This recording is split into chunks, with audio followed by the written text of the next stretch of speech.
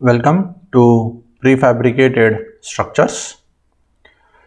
In this video, design of cross section based on materials.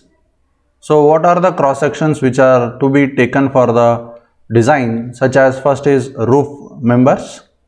So these are divided into two groups. We know as it is long span and short span roofing groups. So we have designed the long span group and short span group. So in this prefabricated. So this is nothing but similar to long span slab and short span slab. But in this it is changing with the particular materials. Short span members are rest on purlins while the long spans ones are directly supported on the main girders. So here purlins are nothing but the subsidiary uh, beams but as the main girders are known as the main beams which we are considering in the RCC part. And the short span roofing members the reinforced plan uh, mode of a porous hollow tiles. Reinforced lightweight concrete may be there or the hollow tiles will be there or the roofing materials such as small reinforced concrete roofing materials or members can be used. So this type of short span members can be used for the roofing members. Among the long span, what happens? The roofing members are in the reinforced concrete members. So, the needs to be uh, perfectly and accurately designed as per the concrete uh, mix design and concrete calculations with the reinforcement calculations and spacing of the uh, reinforcements in the roofing members of long span parts. So, these are the uh, for the part of uh, roofing members. Then comes how the reinforced planks made of porous hollow tiles. How a particular porous hollow tiles can be used for the reinforced planks. So these consist of a porous hollow tiles uh, having a longitudinal circular sections. So in the lengthwise direction, those are made as a hollow sections in the lengthwise directions. And the thickness of a tiles and uh, upper side are provided with the longitudinal grooves. So in the thickness of a tile or in the upper side of the groove, they are provided with the small longitudinal groove such that they can get interlocked with each other. If they are not having any groove they may not be able to get interlocked with each other. And if we are keeping only the uh, horizontal joints between the two uh, planks then there will be a leakage of a water from that particular uh, joint. Reinforcement is placed on the uh, these grooves which are subsequently filled with cement mortar. So whatever the reinforcements we are going to place into the uh, section those particular part will be as per the uh, filled with the cement mortar. Uh, this way reinforcement porous tiles can planks having a length of how much length will be there for the reinforced planks 2.3 meters and the thickness varies from 6 centimeter to 10 centimeters. So 6 centimeter to 10 centimeters means it is hardly about 3 inches to 4 inches and the width of is about 20 centimeters. So they are like one single beam stretch one single part of the beam. So in this beam how can they will be there? So these are the types. Uh, first kind is the heat insulation and has a unit weight of 750 kg per meter cube.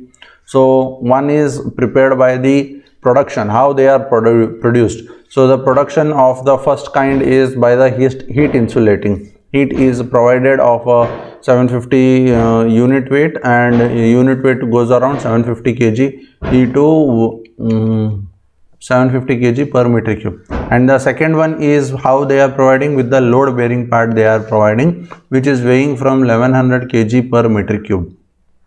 Uh, these are used for production of reinforced planks. So how this is used for means heat is provided for a particular sections such that they get settled and they get hardened for that particular sections and load bearing we are going to place one upon the another. That is called as load bearing type. So there is no column sections are there. There are no reinforcements are there. That is called as the load bearing type.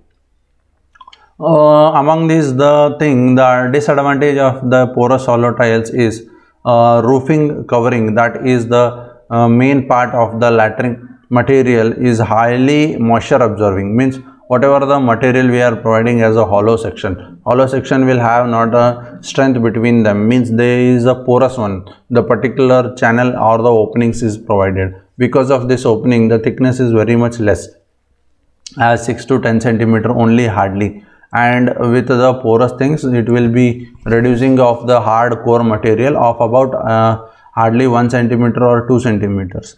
In this part what happens? If a rain is acting or the reinforcement rain is going to come that time the things is will be more and more part of the uh, porous and it will have the water absorption. So once the water absorbing are going to come there then it will be said that there will be a leakage in the section itself only not at the joint. In the section itself only the leakages are going to happen. Thus the roof cover should be protected um, moisture and hence it should be rough rendered with a lime mortar so that we need to paste uh, one of the lime lime is the absorbent of water but it is also repellent of a water so this type we need to consider for the roof covering of porous hollow tiles uh, reinforced planks are made up of hollow tiles. So this is the value of a moment limit. So the same expression comes from the part of previous things. So the same expressions we are going to use. Mi is the limiting moment and Mako is the arithmetic mean of ultimate moment. Mi value of the ultimate moments belonging to the individual planks. Number of load tests, scatter of a moment. Then comes lightweight concrete roofing members. So these play a role in addition to spacing, bordering and load bearing type of things. This is one of the heat insulating and separate heat insulating layer is not necessary for this particular thing because of the lightweight condition as they absorb the heat but they do not allow the heat to pass through one end to another end. Lightweight roofing concrete members can only be applied if there is a possibility of their uh, their reinforcement so if we require then only we can provide our reinforcement in this otherwise not required much reinforcement. A minimum amount of reinforcement is more than sufficient. So it has to be again a bond between a steel and a lightweight concrete for ensuring the transmission of the tensile force acting in a steel bars uh, to the concrete. With the steel bars uh, sliding uh, hence it is necessary to protect why the reinforcement against the corrosion because it is a lightweight and a porous material so porous material means there are openings in the concrete once they come in contact with water the absorbing of a water is more for the lightweight aggregates so lightweight concrete. So they come under the concrete steel whatever the reinforcement we are providing. That reinforcement have a corrosion effect. So the corrosion effect will be more and more in the uh, reinforcement. Then that time the tensile strength whatever the strength it has to take that strength will be very much less and the sections may not be able to carry the uh, desired load whatever we are going to think that load is not able to possible by the concrete to take from the view of a uh, strength lightweight concretes on uh, uh, quality we say them as lc and LC70 or LC100 are quite suitable on the production of roofing members with the regular cross section and thickness uh, of 7.5 to 2.5 centimeters. The weight of cement concrete roofing members is 750 kg per meter cube. So how much the uh, member weight will be going as 750 kg per meter cube. And they have a width of 50 centimeter thickness to 7.5 centimeter uh, to 25 centimeter thickness. Width of 50 centimeters and thickness is of 7.5 to 20 centimeters. And a length of 1.75 to 6 meters. So we are having much required dimensions in the lightweight concrete roofing members. Because of the weight of light we are able to increase the dimensions also and thicknesses also. Because of only the material density is less. Otherwise it is not so possible to prepare huge type of uh, sections which will be having more amount of density. As compared to concrete we are not able to prepare that particular part. So prefab roofing members can be produced of a concrete mode in the usual way. So the prepared concrete can be prepared in the usual way not in the hi-fi things. Why in the usual way means if we have a preparing uh, molds one specific molds in that specific molds we can use them. Using a lightweight materials on a gravel and a sand or aggregates. So if we take a material such as a gravel or sand or aggregates that time we can say how it can be increasing or growing like that type. So these are some materials. In case of prefab uh, structures steel wires must be embedded into the concrete. The availability of least uh, which is least C300 so some of the steel wires are to be embedded between the reinforcements. Also steel wires comes if a thickness is very much less. That time we need to ensure that the steel wires are as the reinforcements in the lightweight concrete roofing members of prefabricated structures. Then small reinforced concreting roofing member. The small reinforcement roofing concreting members is essentially a precast simply supported ribbed concrete reinforced slab. The width of the member is 50 to 120 centimeters. Large concrete roofing members uh, resisting directly uh, on the main girders and the structures are more advanced kind of precast roofing structures. And these are manufactured in a length corresponding to the spacing of the frames, how the frames are spaced. So one frame, another frame, another frame. So we usually take 6 meter to 10 meter of a frame. Their width is again for a frame and then the width of the particular planks whatever the members are provided are of about 1.3 to 1.8 meters in the width wise so this particular length will be of about 6 to 10 meters and this particular width is about uh, 3 1.3 to 1.8 members like that they will be taking. Mm, they are directly supported by the main girders so that the purlins are not required. So here is one support and here is one support. They are directly supported on the main girders. So these are from the uh, frames. Frame whatever the main beams are there those, those main beams will be there uh, large roofing members consist of two longitudinal edge ribs, two uh, large edge ribs, cross ribs and slab having of a thickness 2.5 to 3 centimeters and two-way reinforcement will be there. So these are maximally designed as per the two-way slab itself only because of load carrying capacity, how the rotation or the moment is going to act on the slab is not knowing for the particular prefabricated. So usually they are reinforced with the uh, two-way slabs itself only. So we know what is the two-way slabs. Two-way slabs is both the direction reinforcements is going to act. So similarly here both direction main reinforcement is only going to act. Connected to each other and the frames from the unified continuous roofing structure these are the members which are connected from one is to another end. Flooring members. So industrial flooring members buildings uh, use of the prefab members. The floor um, floor consists of the precast joints and flooring members. The flooring members are designed for a span of about 9 meter and a bearing of a live load of 1000 kg per meter square. So how these flooring members are there means we need to prepare them because the industries are having a loads and if we go and see some industries in that particular part we don't able to see the tiles are there we don't able to see the particular section is there or anything is there. We are able to see directly the flooring members if we go on the upper floors which are connected or which are placed on the main beam such as the frames or the beams. So that time we can say that these flooring members are prepared of a prefabricated or precasted materials after the members because we can't say that in the industry if some of the sections gets demolished or there is a some design is failure then that time we need to change that particular part only. So for that reason the whole industry should not be getting disrupted for that particular part. After the members are placed in the position a longitudinal loading bearing reinforcement and stirrups are placed in the trough uh, from the between longitudinal rims to the adjacent. Continuous reinforcement is placed on the top of the these members. Thereafter, a 5 centimeter thick insisting concrete layer is cast on the top of the members and the trough between the longitudinal ribs are also filled with the, the uh, filled up with the concrete. Uh, this way the concrete transferred from the span is about 6 meter and a live load of 500 kg per meter square and a width of weight of 1450 kg are widely used for the roofing members. Flooring members so flooring members used to be of a smaller uh, loads uh, similarly of a roofing members can also be made lightweight concrete.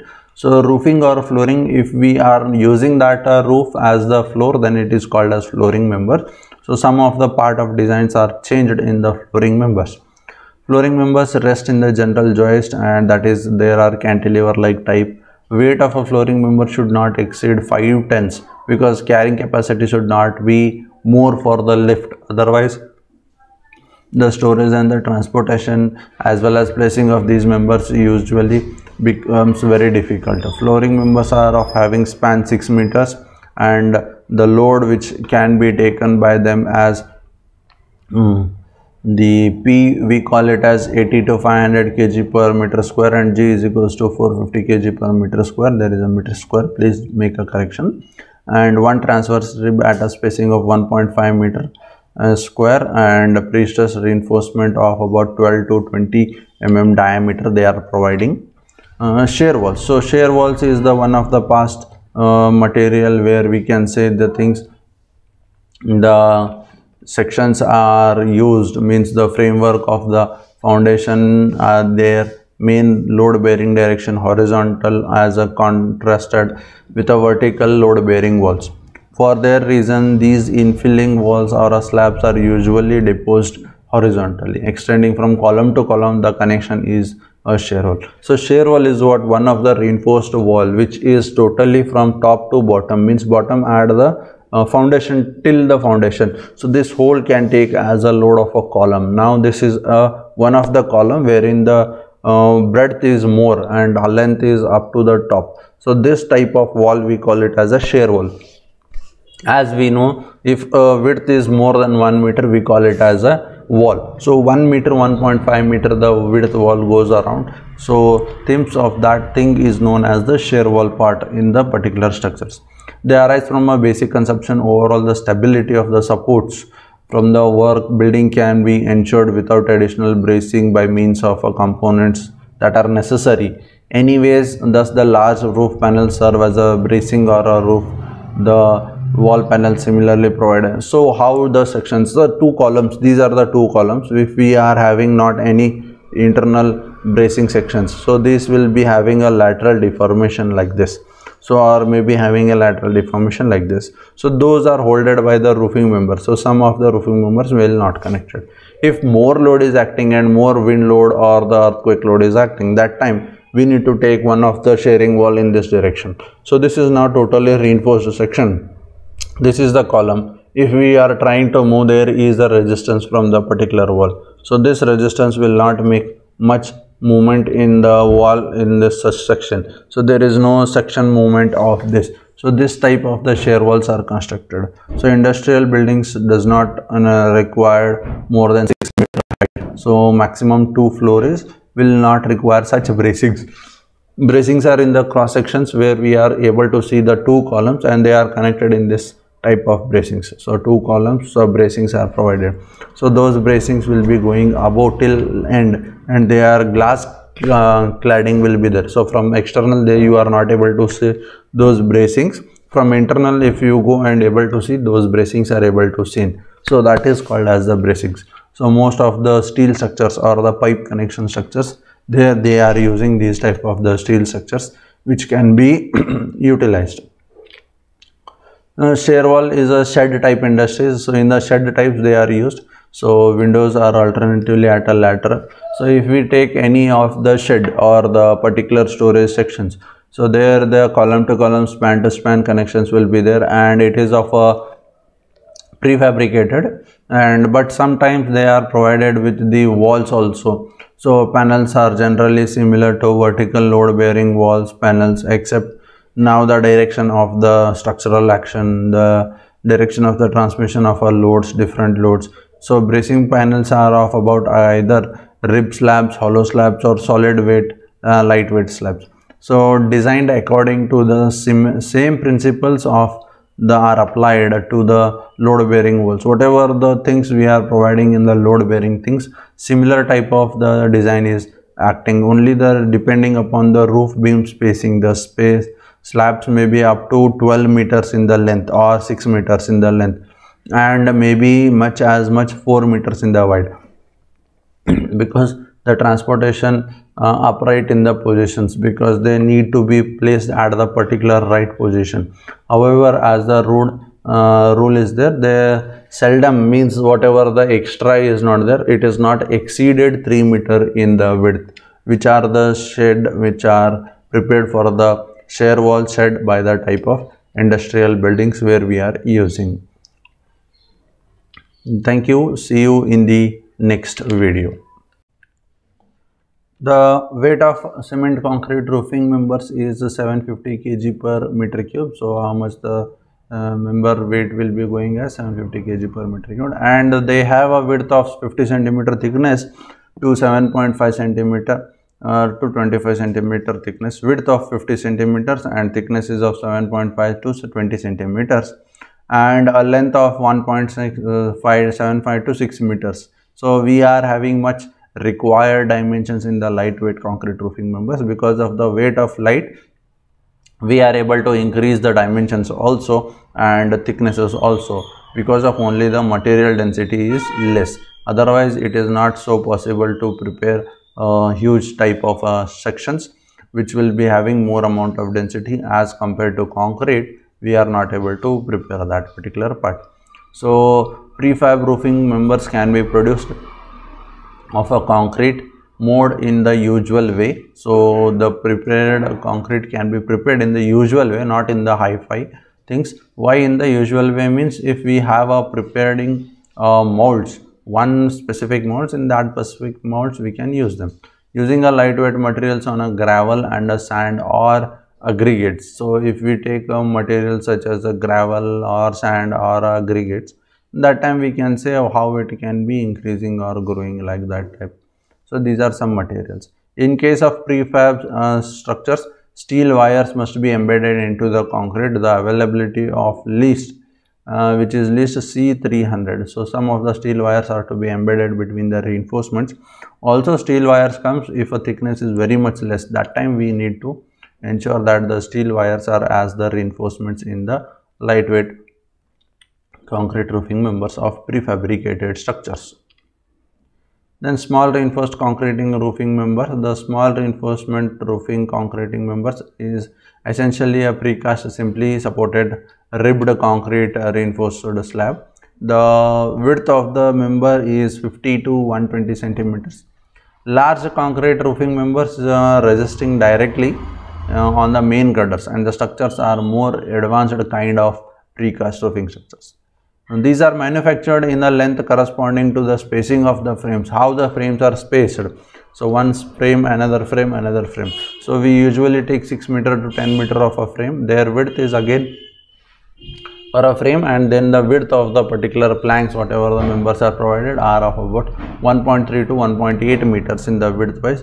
So this particular length will be of about 6 to 10 meters and this particular width is about uh, 3 1.3 to 1.8 members like that they will be taking.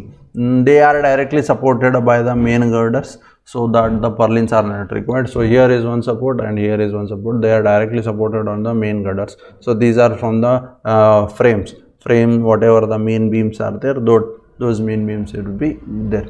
Uh, large roofing members consist of two longitudinal edge ribs, two uh, large edge ribs, cross ribs and slab having of a thickness 2.5 to 3 centimeters and two-way reinforcement will be there. So these are maximally divide, designed as per the two-way slab itself only because of load carrying capacity, how the rotation or the moment is going to act on the slab is not knowing for the particular prefabricated. So usually they are reinforced with the uh, two-way slabs itself only. So we know what is the two-way slabs. Two-way slabs is both the direction reinforcements is going to act. So similarly here both direction main reinforcement is only going to act. Connected to each other and the frames from the unified continuous roofing structure. These are the members which are connected from one is to another end. Flooring members. So industrial flooring members buildings uh, use of the uh, prefab members the floor um, floor consists of the precast joints and flooring members the flooring members are designed for a span of about 9 meter and a bearing of a live load of 1000 kg per meter square. So how these flooring members are there means we need to prepare them because the industries are having a loads. And if we go and see some industries in that particular part we don't able to see the tiles are there. We don't able to see the particular section is there or anything is there. We are able to see directly the flooring members if we go on the upper floors which are connected or which are placed on the main beam such as the frames or the beams. So that time we can say that these flooring members are prepared of a prefabricated or precasted materials.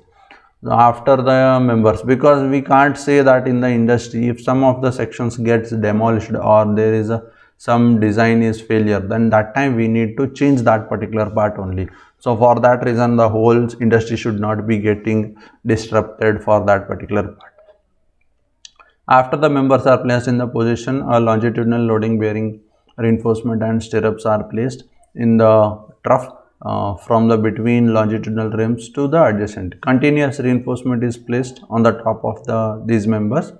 Thereafter, a 5 centimeter thick insisting concrete layer is cast on the top of the members and the trough between the longitudinal ribs are also filled with the, the uh, filled up with the concrete. Uh, this way the concrete transferred from the span is about 6 meter and a live load of 500 kg per meter square and a width of weight of 1450 kg are widely used for the roofing members. Flooring members, so flooring members used to be of a smaller uh, loads. Uh, similarly of a roofing members can also be made lightweight concrete. So roofing or flooring if we are using that uh, roof as the floor then it is called as flooring member. So some of the part of designs are changed in the flooring members. Flooring members rest in the general joist and that is there are cantilever like type. Weight of a flooring member should not exceed 5 tons because carrying capacity should not be more for the lift. Otherwise, the storage and the transportation as well as placing of these members usually becomes very difficult. Flooring members are of having span 6 meters and the load which can be taken by them as mm, the P we call it as 80 to 500 kg per meter square and G is equals to 450 kg per meter square. There is a meter square. Please make a correction. And one transverse rib at a spacing of 1.5 meter uh, square and a pre-stress reinforcement of about 12 to 20 mm diameter they are providing. Uh, shear walls. So shear walls is the one of the past uh, material where we can say the things the sections are used means the framework of the foundation are their main load bearing direction horizontal as a contrasted with a vertical load bearing walls. For their reason these infilling walls or slabs are usually deposed horizontally extending from column to column the connection is a shear wall. So shear wall is what one of the reinforced wall which is totally from top to bottom means bottom add the uh, foundation till the foundation. So this hole can take as a load of a column. Now this is a one of the column wherein the uh, breadth is more and length is up to the top. So this type of wall we call it as a shear wall. As we know if uh, width is more than 1 meter we call it as a wall. So 1 meter 1.5 meter the width wall goes around. So themes of that thing is known as the shear wall part in the particular structures they arise from a basic conception overall the stability of the supports from the work building can be ensured without additional bracing by means of components that are necessary. Anyways, thus the large roof panels serve as a bracing or a roof. The wall panel similarly provided. So how the sections, the two columns, these are the two columns. If we are having not any internal bracing sections, so this will be having a lateral deformation like this so or maybe having a lateral deformation like this. So those are holded by the roofing members so some of the roofing members will not connected. If more load is acting and more wind load or the earthquake load is acting that time we need to take one of the sharing wall in this direction. So this is now totally reinforced section. This is the column. If we are trying to move there is a resistance from the particular wall. So this resistance will not make much movement in the wall in this section. So there is no section movement of this. So this type of the shear walls are constructed. So industrial buildings does not uh, require more than 6 meter height. So maximum two floors will not require such bracings. Bracings are in the cross sections where we are able to see the two columns and they are connected in this type of bracings. So two columns so bracings are provided. So those bracings will be going above till end and their glass uh, cladding will be there. So from external there you are not able to see those bracings. From internal if you go and able to see those bracings are able to seen so that is called as the bracings. So most of the steel structures or the pipe connection structures there they are using these type of the steel structures which can be utilized. Uh, shear wall is a shed type industries so in the shed types they are used.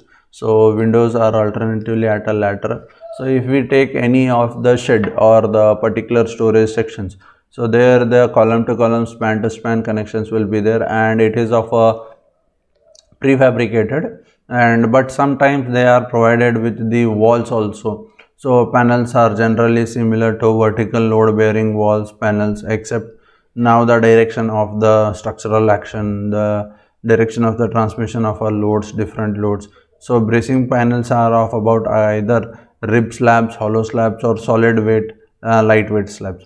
So designed according to the same principles of the are applied to the load bearing walls. Whatever the things we are providing in the load bearing things, similar type of the design is acting. Only the depending upon the roof beam spacing the space slabs may be up to 12 meters in the length or 6 meters in the length and maybe much as much 4 meters in the wide because the transportation uh, upright in the positions because they need to be placed at the particular right position. However as the rule uh, rule is there they seldom means whatever the extra is not there it is not exceeded 3 meter in the width which are the shed which are prepared for the shear wall shed by the type of industrial buildings where we are using. Thank you. See you in the next video